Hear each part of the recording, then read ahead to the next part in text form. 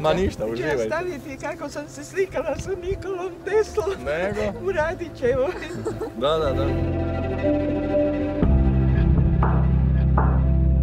Po završetku svoje niže realne gimnazije u Gospiću došao sam u Karlovac iz jednostavnog razloga, tu je živjela moja tetka Stanka i smjestio sam se kod nje jeli, sljedeće tri godine života, a i Karlovačka gimnazija bila je već i tada na glasu kao kvalitetna ustanova, a kako je za mene bilo predviđeno da idem stopama moga oca Milutina, koji je svećenik, i jel, mene je čekala ta sudbina. Ali evo, stjecajem okolnosti, ovaj, mene su zainteresirale neke druge stvari, odnosno tehnika, poglavito struja, pa se taj moj svećenički poziv nije nikad desio. Evo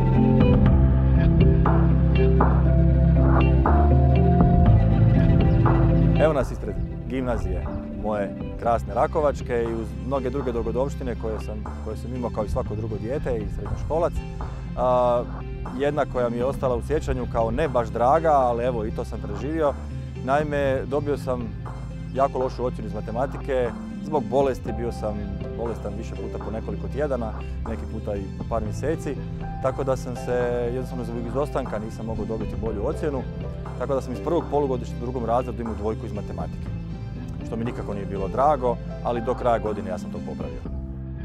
I naravno, kasnije su generacije rekle pa ako je Tesla mogao imati dvojku iz matematike, onda jel, nije loše da imamo i mi obični đaci.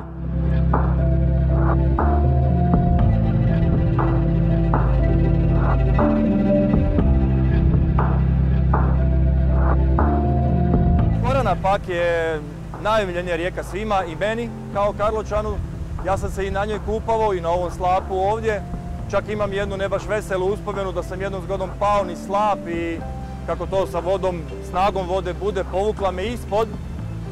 I u tom momentu dok sam bez, zraka ostajao, jer snaga vode me pritiskala na dno, sjetio sam se lekcije svog profesora iz fizike o gibanju tekućina i sjetio sam se da kad tekućina pada niz slap, da ne može pasti vertikalno dolje zbog inercije.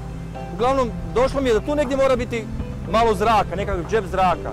I doronio sam onako nosom do zida i udahnuo.